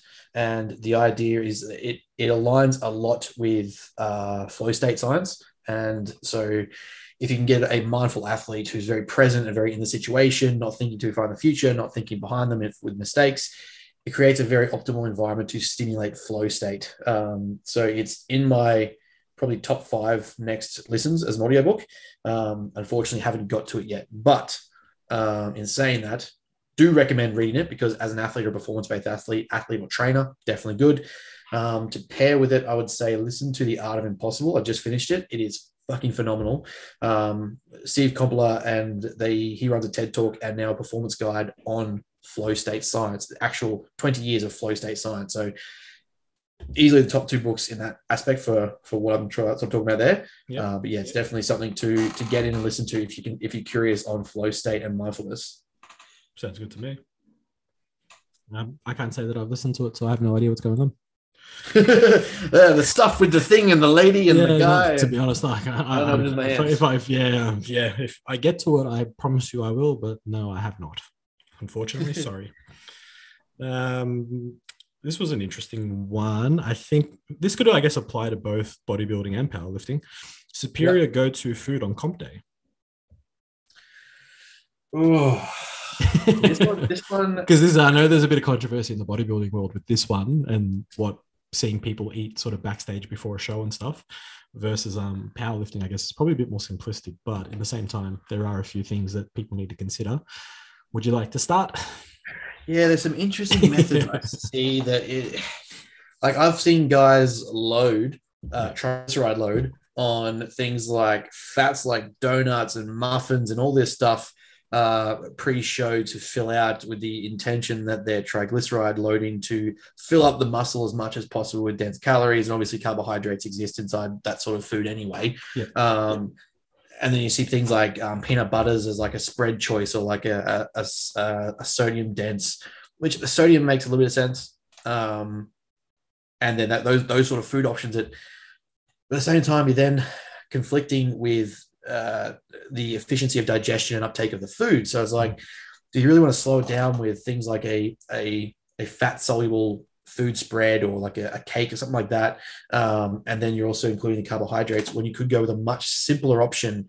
Um, like eating your normal food across the day but backstage pre-pump up you're looking at like glucoses sugars simplistic carbohydrates easily digestible won't cause fermentation or bloating won't cause disruption in posing um, will easily uptake and uh, re-regulate and fill out muscle cells so those to me make more sense. Um, but I've seen both, and it's Well, I kind would of have like, thought filling intramuscular gly- uh, triglycerides, you do pre-show, like you do it, you know, probably the day before, a couple of days before, because it holds a little what, bit, yeah, and then you know you'd start to fill with just glycogen.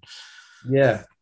I That's what that's what I always that's why the, the route I would take. But um, unless you can Yes. obviously, to- unless you're, you know, unless you can tolerate taking intramuscular triglycerides. So as long as you can take fats on the day, you know, it doesn't affect your overall look and doesn't affect your digestion. Because you know there Yeah. are those people that you know can have it and be like, oh yeah, like this yeah, is fine. for sure. Yeah, like like Nutella, for example. Like I used to fucking eat Nutella before I play footy. It never fucking affected me. So Yeah, yeah. you know what I mean. So I wonder. It just wouldn't be something like I would introduce newly a, a novelty. Oh, on the 100 day. percent. Yeah, yeah. like you if, want to be. if you're doing the doing day it. you're introducing muffins and you've never had muffins in co- in prep, Yeah. what are you doing? Like that's Oh yeah, of course. Yeah, don't deviate from what you've always been having. That's Yeah. 100 percent. So it's like, well, when you do your mock peak week, right? When you know if you're prepping and you should be hopefully getting into a point where you're a couple of weeks out at least, and you can Yeah. play with a peak week and see what works and what doesn't, or you use a like a warm up show if that's what you're doing um, to play with different protocols for peak week. But you know, you'd be playing with the same foods and just manipulating the amounts, right? Yeah, that's what we do. Yeah, Hundred percent. That makes sense. Well, it's funny from a powerlifting standpoint. You'd be surprised every time you go to a powerlifting comp, man. Everyone has lollies because they're like, yeah, like definitely need to have lollies because glucose and you're like, yeah, but lollies. I don't know if you've ever had a bag of lollies, but what's the first thing that you do when you finish a bag of lollies? Is you go take a shit because it has a very interesting laxative effect. So um, it's not major, and some people again tolerate it fine. Most don't, especially when they're in a stressed and aroused state, and their digestion is just going haywire. It's kind of like yes, let's probably have things that aren't going to do that to you. Yeah. um, I actually quite enjoy salt and vinegar chips or rice crackers. Um, depending on Yeah. how you tolerate fat. If you don't tolerate fat too well, like saturated fats, don't have the chips, just have rice crackers. Honestly, peckish. You know, get salt and vinegar ones. The salt's obviously going to replenish some of the um, electrolytes that you've lost through your sweat, through warming up and being nervous Mhm. and shit. You know, have a sports drink on hand is always handy. Uh, depending on how long the day is going to be, don't change anything that you have done in the past because it's like you've eaten a full day of food and gone to the gym, or you've you know gone to the gym and had a full day of food before. So there's no real change. It's just if you're on Yeah. weight, you don't need to worry about anything. Just fucking eat the food that you normally eat. Take your time, and Yeah. you will. You know, if it's a full day, you are going to have to digest the food and go to the bathroom either way. You can't really avoid Yeah. that. Let's not take foods in that are going to speed that up. Let's just Yeah. let things that do their natural process and like don't alter it or change it. Pretty straightforward. you don't want to be about to be called out to then go, oh fuck, I've got to go dump real quick, and then I'll come back. Yeah, Like, I, I, yeah. I just love watching everyone like take handfuls of lollies and then you watch them like 20 minutes later, like the toilet line is like around the corner and you're like, yeah, you, I, I saw all of you. You all had the same fucking thing. You all had packets of lollies and they, now your serves are right because you're getting, you're supposed to be warming up and you're supposed to, you're to get called up in 10 minutes. Like, Yeah. You're you're at a stage where you're supposed to be optimizing arousal, and then you're also trying to force out a shit. Uh, yeah, right. Like, I mean, you, you are, well, well. you are definitely aroused to take a shit. Yeah, we know cortisol doesn't make that the best time to do that. Yeah, right. So it's kind of like just getting these things happening. It's just it's interesting. It's always interesting to see comps, man, and like how everyone sort of reacts. And again, there is, Yeah. you know, it, there's, There's always nuances. yeah, and there's always you know uh, individual responses and that sort of stuff. So everyone's Yeah. a bit different, but like as a general rule. Like if you're gonna have lollies and that sort of stuff, maybe make sure that you can tolerate them beforehand. Yeah. Um, like if you're I've- in training and taking lollies in between sessions, like if you're in, you know, in between squat sets or something like that, and then you find you go into the toilet, there's probably a chance not to eat the lollies on the day. just, just saying. I've, I've got I've got a really good one that I think we'll both get a good little um five minute spiel out on. Oh God, I'm worried. He's already laughing. He hasn't asked the question. This is going to be bad, guys. Do you feel the need to understand macro tracking before moving to intuitive eating? oh, fuck off. Uh, So look, I don't have a problem with people wanting to intuitively eat, provided they're educated enough to understand what intuitive eating is. And I think um, a lot of people get intuitive eating wrong, especially if they've got the education behind them from macro, macro tracking. Mhm. If you're eating and then eyeballing macros in the food, that's not intuitive eating. That's you. That's you taking an education, an educated guess Yes. at what's in it, and you know trying to stick to some form of macro number content type scenario in Mhm. your head and that's fine there's nothing wrong with that I, I like that i you know the fact that you've been educated enough to be able to eyeball it and then potentially stick to it and not have to worry about it and write it down in an app fucking kudos like you've done well awesome don't claim that that's intuitive eating. Intuitive eating is literally going by your body's leptin and ghrelin responses and saying hey i feel hungry i'm going to go eat. Oh i don't feel hungry i'm not going to eat. Literally that's it. Yeah, like, like it's as simple as that. So some nuances i guess you would maybe maybe refer to like in that aspect which i i believe i believe most people should move in that route anyway being able to practice and study macro tracking so this is the thing i get when people jump on the intuitive eating bandwagon and they're like as coaches they start pumping out about i like you shouldn't track intuitively eat and it comes from a person who spent five years macro tracking and calorie tracking you're speaking from a position of education and informed and informed I guess, authority where you understand how easy it is to like gauge food based on visual cues versus someone who doesn't. So you're encouraging someone to do something that you can't, that they can't do based on the fact that you can do it. Now, that isn't wrong. It's that you should be teaching them macro tracking first. Don't dismiss macro tracking because it's allowed you to get to the position to make those decisions and make those educated positions. exactly right Train them up to do so, and then go, all right, now we don't have to live by MyFitnessPal. Like you can back off MyFitnessPal. You know that uh, 300 gram chicken breast is roughly 75 grams of protein. You know that It's educational. in uh, no, exactly. Um, you know, you can go to the Coles and buy a cup of rice, which would be roughly 30 grams of carbs, and you just throw that in the microwave. And you know that you can get a bag of salad that's going to hit a diverse range of micronutrients and give you fiber. Cool. You don't need to be like, well, I got to put that in MyFitnessPal. But that requires you to get to a level of education first to do so. yes Now, those people who are like, I'm getting a lot of I'm getting a lot of shit for this, but I'm pregnant and I'm intuitive eating and I know that my body needs cake. No, no, no. You feel like you feel like you want cake. Yes. you don't need cake. There's a difference. You're recognizing a hunger cue because you're either bored or there's something growing in you. yes but- it's requiring energy 20 or 30 kilos of gain is Yeah. not necessarily because the baby's growing inside of you. No. You need to be practicing, like practicing the concept of mindfulness, and acceptance Mm-hmm. of hunger cues, of hunger signaling, what hunger actually is. Yeah. So if you haven't experienced dieting, like we said before, you can't just jump straight into, well, I'm hungry. You're probably bored. Like yeah if the Yeah, apple, I mean, yeah, like I said, yeah. Well, if, you, if you're also if you're pregnant, like you do have, uh, you know, more energy. You require more energy. Yes, There- there's, no question about that. So you will get hungry more frequently. There- There's no question. That's simple Yeah. biology. Um, but at the same time, it's like what you choose to put in your mouth uh, is on you.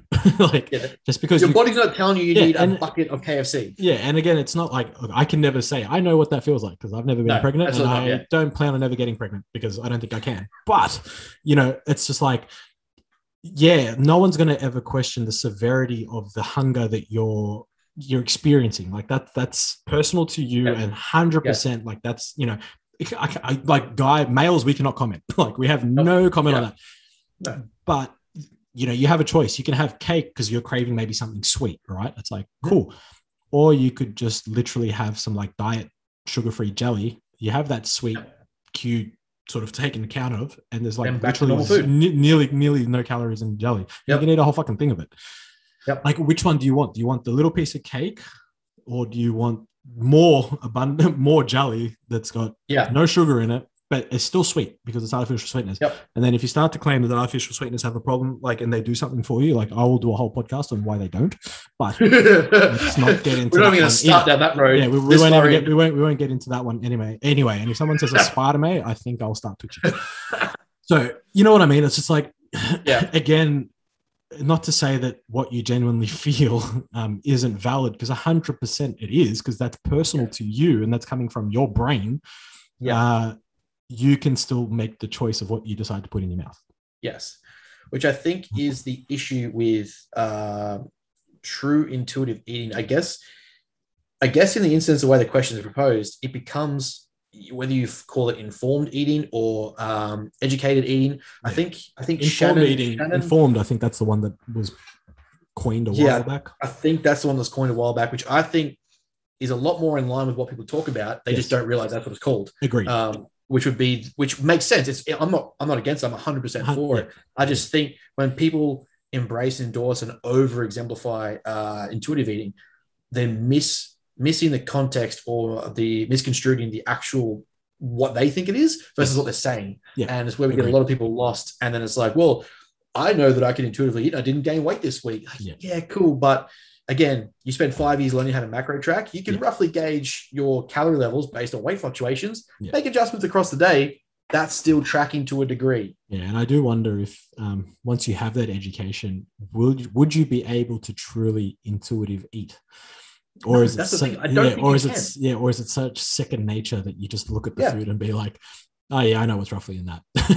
you know it's what I mean? It's, like kinda saying it's like saying once you learn to ride a bike, could- would you simply never be able to ride a bike again? Well, no. You, you, like no matter what, you know how the mechanics work. You're probably going to pick it up and take off. Yeah, so it's like I wonder if you can stop yourself from ever not being able to count in some format. Like, I wonder. Which, I wonder. in and of itself, shouldn't be perceived as a, as a negative thing. Oh yeah, definitely not. It's You've not. learned a skill that is life beneficial Yeah. and is now ingrained in you Yeah. to a degree that you can make conscious choices with a educated understanding and a health conscious mindset that's going to result in better results for you, whether you're tracking it or not. You're still tracking it. Yeah, I, I look. I, I completely agree. It's just a yeah. We could be here all day with mind mindfulness, intuitive eating, and informed I thought you'd enjoy it. informed eating. Fucking makes me want to kill someone. Um, okay. Um, ooh, What do you okay. reckon? One more, you reckon? I think we've been running for like a ninety minutes already, bro. Yeah, maybe they- they- yeah. These, these things fly. we went pretty ham. Um, have you got have you got a funny one in there we can finish on? Because I've got a good training one. We can both go on. Go Um, Let's finish off with a strong one. It's been a serious podcast. This one we may as well finish serious. Let's just, right, fucking- let's just do it. Let's All do it. um, okay, so best best way to bring up a weak muscle group. Okay. So we have a few different ways. yeah, like this is going to take another hour, so so just sit back. Um, look, I heard a guy was doing a seminar that's probably going to have this included, but I mean, I don't- I'm not, I'm not, I'm not sure. If But, if, but, if, but if, if, you're based in Melbourne, you know you should head down on the September 12th, the Apex in Coburg, and just yeah. Anyway, um, so bringing up a bringing up a lagging muscle group. Prior- prioritizing that muscle group obviously is going to be the- the first and foremost uh, action. So you got to look at actual total volume that's been going No, into firstly, that. it's like calves, just don't train them. So like Well, uh, yeah, no, calves, no one cares. The calves don't count. It's knees up. Um, so we're looking at you know the actual total volume of work that's going into that body part. So if you have a, a record of what you've currently been doing prior to understanding that you need to bring it up, you can then manipulate the numbers to to better suit. Now, it also comes down to training style and all that sort of stuff as well, right? But let's just keep it as simple as possible. If you're doing you know ten sets a week for that body part and it needs to come up, well, first and foremost, you're going to probably increase sets, right? nice and simple. You can just increase sets from like 10 to say 15 a week. And then you can also put that at the start of your workout. So it's like if it's, we'll use calves as the example because we all need bigger calves, right? Um, in a leg session, for example, uh, if calves is your going to be your main ex, your main muscle group that you need to bring up, you'll probably put that first and make that the very first exercise or two exercises, you know, at the top of the list. Um, in But also, exercise, you don't you don't get to the end of your session and go, nah, fuck it, I'm doing it. Well, I mean, I, I I still do them. It's just I don't do them well. No, I do, but they're just not going to grow. um, but yeah, like you, you want to put them at the start. You're going to have the most energy at the start of your session, so you're going to be able to give the most energy towards that exercise. So, Mhm. uh, you know, and that's when you start to play with it, making sure that the rep quality is great, like it's consistent, making sure that. Um, you know, you've hit your target reps, you target, you know, RIR, RPE based on how you do it. Um, Mhm. smaller muscle groups I do like to push closer to failure, obviously, and on the last set I Mm. like to go to failure. Um, and then you can also throw in an extra day if that's another way to go Mhm. about it. So you can increase frequency of the exercise or the, the muscle group. So increasing sets and volume is one thing, um, and the way you increase that will be dependent on time that you have. So I do like to use a I, I use a four day program for most of my clients and myself um, when I train, and then when I need to bring up a lagging body part, I put in a fifth day and spread the volume across an Mhm. extra day, um, and then I add in extra sets and that sort of stuff. Um, I do also like to really push intensity. So if if you have a lagging body part but you're not really training intensely, um, the first thing I'll do is keep your program the exact same and just say, look, I'm just going to push your intensity first. And let's see if we Yeah. can stimulate some growth that way because we want to always use minimum effective dose, right? So if we don't need to increase your sets and reps and weight and all that sort of stuff, Yeah. well, then Don't spend an extra three hours in the yeah, gym. then, then there's, there's yeah, then there's no, there's no point. So let's make your sessions as effective as possible, and then we go from there. That's how I like Mm-hmm. to bring up a lagging body part. I think the other thing to be conscious of too, um, in agreement with all that, um, when you are still programming, you are still training. Bringing up a lagging body part doesn't mean that your other body parts aren't going to grow. So if you're in going into a physique-based contest and you're looking at, say, like for me myself, last contest was a very weak, um, say very weak, but proportionally a weaker leg um, leg result. Um, just simply small legs. Uh, it's taken a long time to build them up, but you also have to be conscious then that uh, if you don't program correctly, other body parts are going to grow with it. If you maintain, if you maintain that their proportion is now um, what it was to get you that disproportionate uh, sort of visual look, Yep. then you have to be mindful that if you if you keep training the same way and then just simply bring up a little bit of, of leg volume, the other parts are going to keep growing as well. So you need to be mindful that uh, it's still going to increase the growth of the other body parts. Yes. Um, and if you're looking at balancing rather than, uh, I guess, um, blowing out that body part, like obviously everyone talks about bodybuilders like, oh, they got sick legs or sick quads. I just want to have a complete physique. So yeah. to me, um, Yeah, if it's going to be, hey, your legs are your legs are underdeveloped, but your arms are out of proportion. Well, okay, so we're going to do a little bit less arms then for a little while. Go through a few blocks of just prioritizing legs, and we'll do some accessory work at less, I guess, maintenance volume or, or roughly maintenance volume to sustain that and bring my legs up. Then we'll enhance from there and go from there. So just be mindful that um, though you have a weak part, you're increasing. If you still train the same way, or there's other, other body parts in total volume and stimulus, it may still continue to grow. So you should be mindful of that as well. Yeah, I mean it's it's interesting in that it's like when you look at it like a bodybuilder, for example. I think if you point out one aspect of the person, you kind of like the person's going to be thinking, "Fuck, it means I need to bring everything else up." it's kind of like, Yeah. and your legs are sick. Oh, fuck, it means I got to do chest. I got to do more shoulders. I got to do more Yep. arms. I got to do more back. Fuck. You didn't mention my fucking lats. God damn Yeah, it. right. The funny thing is, though, I guess on the flip side, if you look at a powerlifting thing and we talk about frequency and um, so the powerlifting movements are skill based. So Yep. and they're quite taxing, like quite taxing on the joints. And it's kind of Mhm. like when you're in comp prep for powerlifting meet, um, increasing intensity, obviously dropping total volume over a period of time. When you lead into your comp, that's how we peak, right? Mhm. That means you're placing more stress on the joints as well as the muscles. Whereas in bodybuilding, where because we're using mostly isolation stuff where we can, you know, provided that's what you've got access to, uh, it's more stress or more um, tension is on the muscle and the muscle belly versus the joint itself. Now, not to say that you're not going to load the joint because it will obviously load. It's just a little different. Mhm. So when powerlifting coaches increase frequency for the movements, provided it's relatively sub maximal, it's okay or it can be okay to improve the skill and skill efficiency. But if you're increasing the actual frequency of the movement and keeping the load relative and it's kind of high, you place such a high risk uh, on the lifter for injury. And it's kind of like it's just Mhm. not as safe. And it just goes to show that a lot of powerlifting coaches still uh, doing off-season programming in a powerlifting sense and still giving them barbell movements when if they have access to a commercial gym and have access to machines Yeah. that they can literally go into a more physique based off-season Yeah. improve it yeah yeah improve their health markers get a bigger muscle because at the end of the day as we know a bigger muscle is usually Oh, a stronger yeah. muscle right and then a stronger muscle if we dial in the neural uh, side of it being the skill Yep. we're going to be able to express that strength better and Yes. you're going to have more fucking strength it's like it's just really it's still something that like coaches just don't seem to understand and grasp and i see a lot of off-season programs again it's provided you have access if you don't have access and you don't have access to barbells and dumbbells well fuck there's not much you can do that that's Yeah. fine like that's a different story but if you have clients that have access to gyms and commercial gyms with machines, stop giving them barbell fucking movements in their Yep. off season. Like they're burnt out and fried neurally Yep. because it's a skill.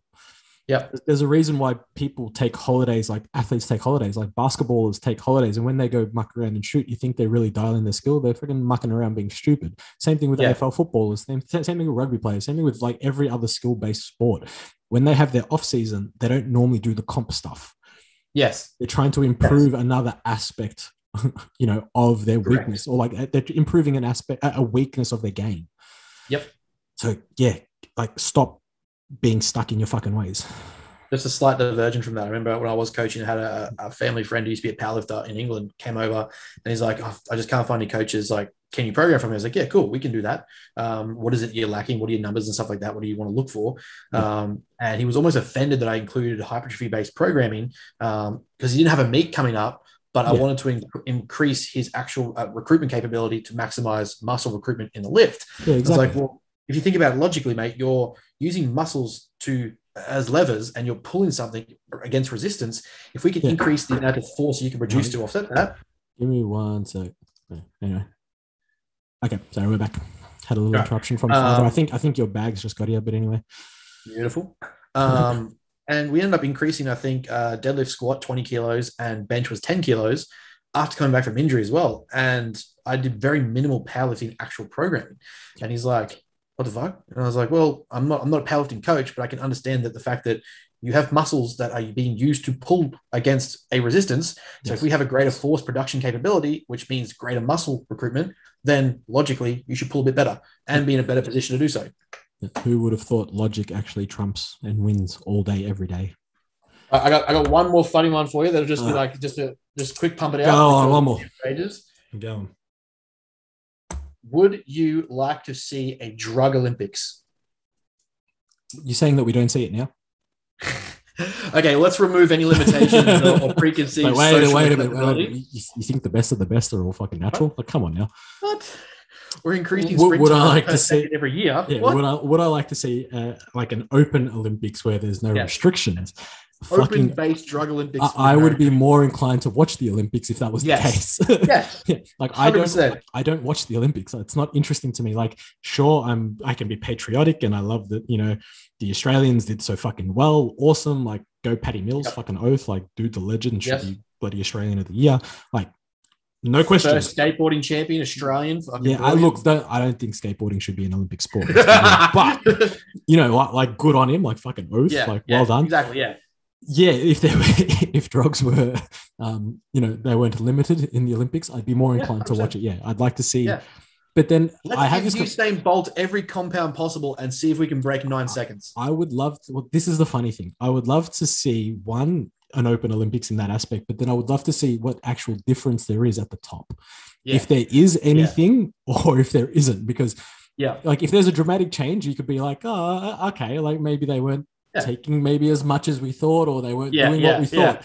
But then if there's no change, you're just like, hmm, wait a minute. Wait a minute. We So- know these are performance enhancing compounds, Yeah, and your performance hasn't enhanced. Yes, Hmm. like hmm, like sus.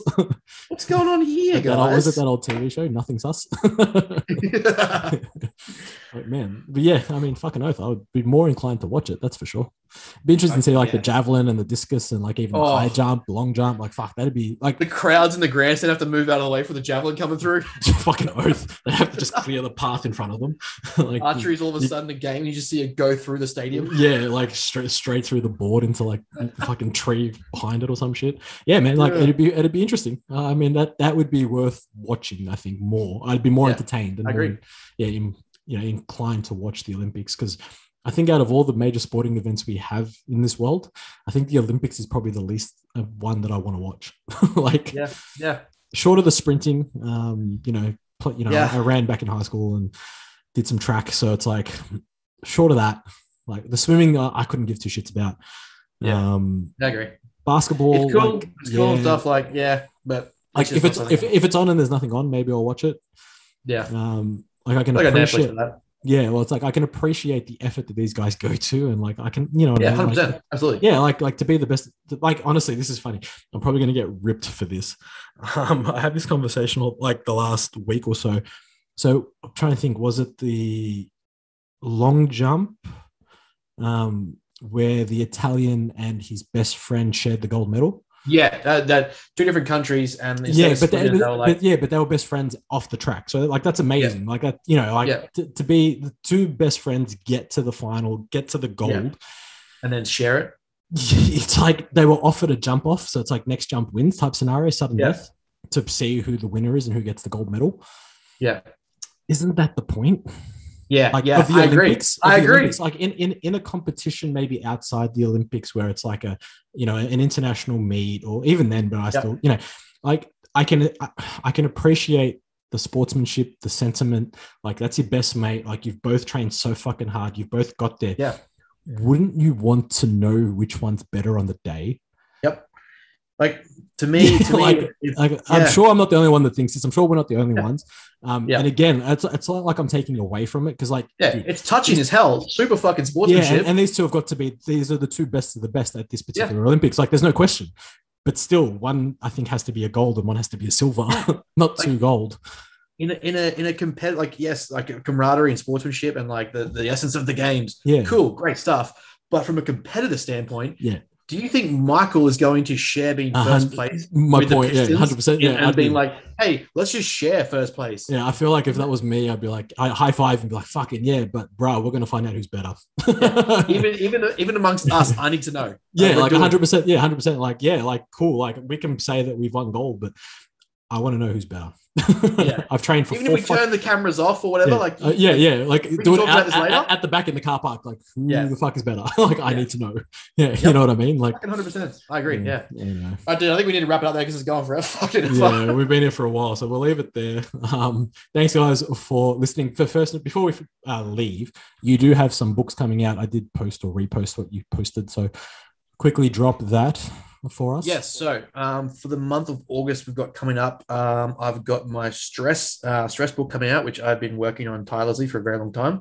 Um, so is Brooklyn. Um, so getting editing and publishing done, all sort of jazz. So that's a big one. Uh, but then I'm starting to move into my program. So you're going to get a look at uh, bundle packs and things that actually help reorientate life. So um, how to find how to structure structure and set goals um, and how to find purpose in life. So those three together will comprise a pretty cool bundle of, um, I guess, ebooks. And I want to turn into programs eventually, but for now, just an ebook to sort of give you a sense of direction and how to reorientate things. So those three are finished writing. Um, I've got feedback on them. They've been edited. They're looking to get published now to get up and downloadable. So um, by the end of August, I should have those out to complete the pack. Sweet. Um, and just myself, I've got the seminar that I've plugged last night and already generated some interest, which is really cool. So thanks for the love. Uh, 12th of September, provided we're not in lockdown um, at Apex. It's going to be a full day. We'll do a couple of pracs and some basic theory.